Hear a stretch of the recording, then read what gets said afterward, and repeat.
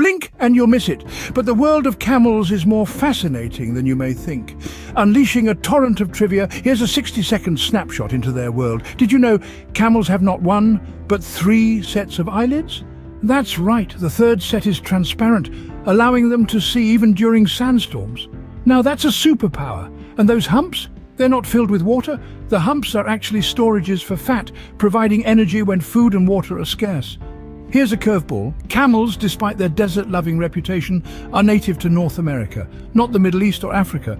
And finally, these creatures are not just desert taxis. They are intelligent and emotional animals, with the ability to remember their friends and hold grudges against those who wronged them.